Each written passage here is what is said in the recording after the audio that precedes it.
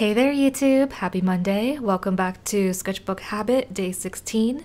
And today I am using my most expensive art supplies. The art supplies that I have been tucking away for a rainy day or just kind of a I'm not ready for this or not good enough. You know, we all have that that particular art supply that we just don't use because for many silly reasons. So, in my Instagram stories yesterday, I asked my followers what they would like to see in upcoming sketchbook habit videos, and I got this really cool suggestion about using the good stuff, the most expensive stuff, and uh, many of you requested one of my uh, expensive palettes, the uh, Schmincke, that I haven't used. Um, and I thought this was a great idea, especially for today, because we are halfway through the challenge. Uh, 16 days this is a 30 day total challenge, and you know, we, we should celebrate. I should uh, pat myself on the back. I didn't skip a day yet. Um, I'm going strong, and um, Wow, we are we are doing this. All right, so I'm finally cracking open the perfect sketchbook. I have squirreled away the sketchbook in my drawer. I purchased this back in 2017. It was limited edition of 900 copies. Um, I purchased this for 50 US dollars. It's no longer available. Um, even within this edition, I think. Uh, since then, the Perfect Sketchbook teamed up with Etchr and they made their own version, and I don't know how that is. I think they may be different or the same. Not sure. But yes, so I'm using the $50 sketchbook, the Schmincke 24 pan that I purchased on Jackson's Art Supplies for $107 on super sale.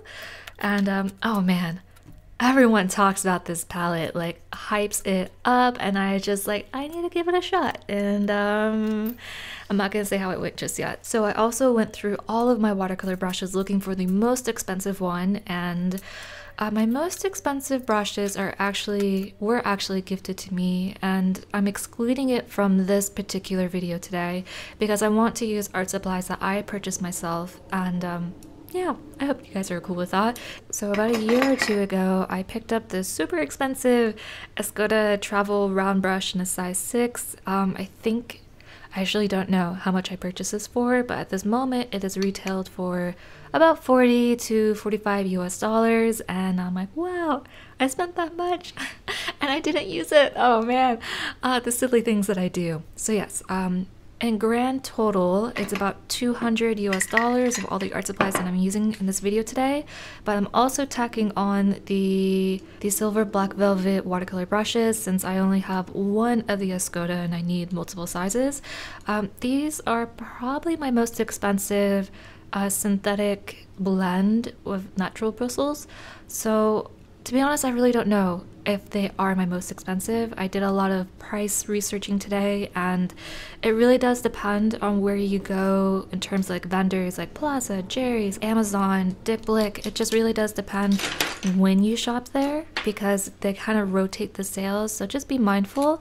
Also, another thing I want to point out is I noticed that art supplies are a little bit more expensive than they usually are. And if you're in the market to buy something new, I would suggest maybe to hold out until things kind of calm down for a bit. So I thought the best way to celebrate using my fancy art supplies was to do a patron portrait. I woke up this morning and felt the urge to just draw one of my patrons and uh, here I am.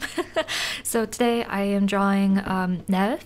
She is so sweet. Thank you so much for submitting a photo for me to draw. I am over the moon.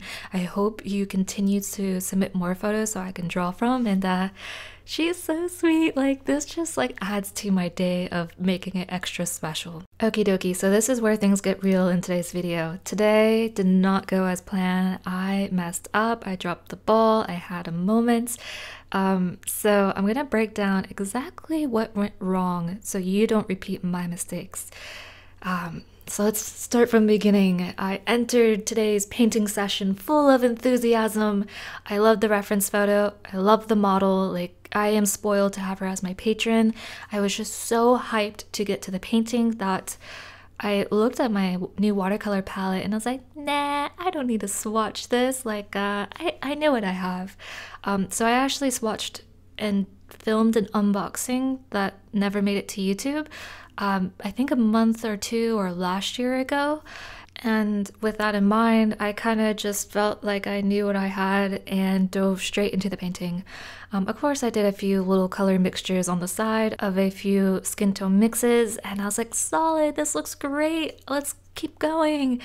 Like, what could possibly go wrong? And this is lesson number one.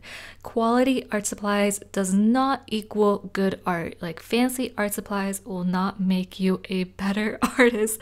And this video is the complete example of that. Like, I had all these bougie art supplies and I butchered it. So, what went wrong? I didn't check what colors I had. I didn't check the pigments. I didn't check the opacity.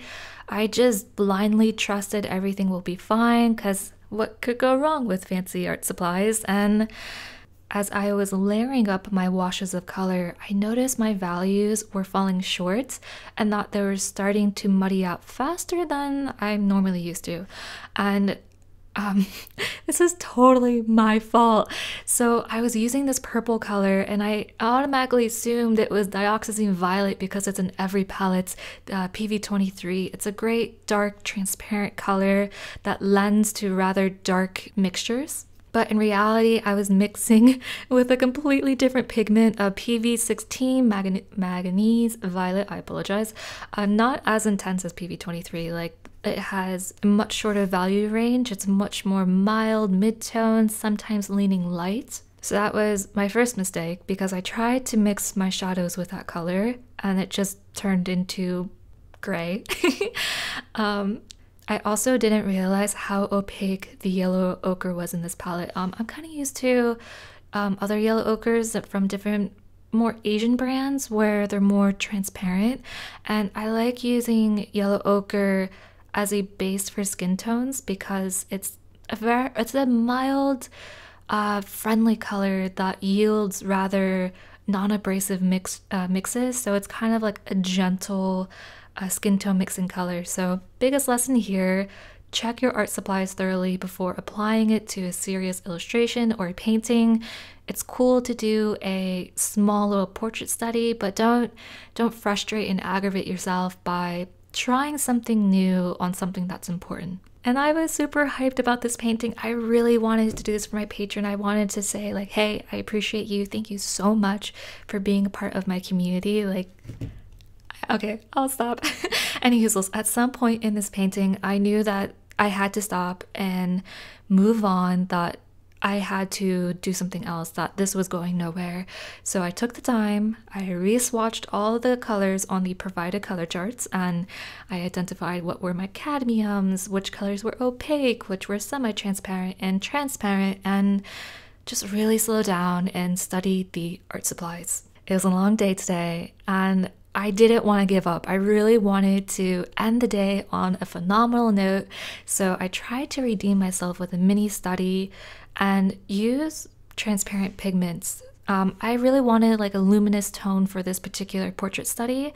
Uh, so I reached for transparent May green and permanent carmine for the skin tones. And for the shadows, I reached for the Phthalos and Perylenes. Actually, it's really nice that this set contains Perylene Maroon. Like, Yay! I I don't use that color enough, but it I I get wooed by it.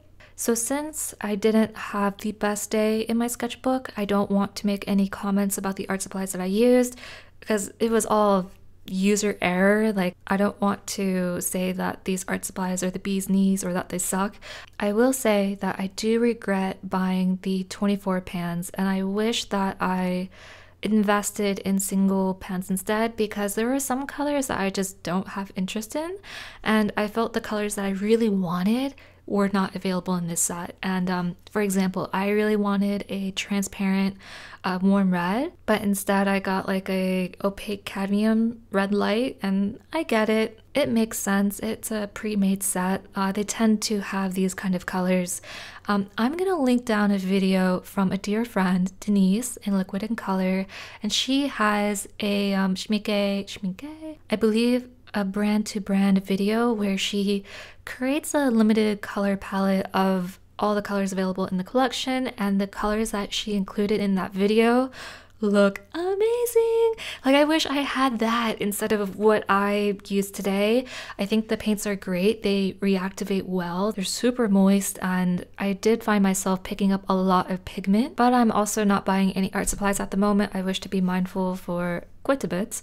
Um, so, yeah it was a day. I look forward to tomorrow. Like, I am very thankful that I did tackle this today, that I gave these art supplies a chance, that I finally allowed myself to use the good stuff. And I really hope that this video kind of nudges you in that direction to reach for that art supplies that you tucked away in the corner for multiple reasons, and that you too allow yourself to enjoy it. I certainly feel much more inclined to pick these up again and explore with them.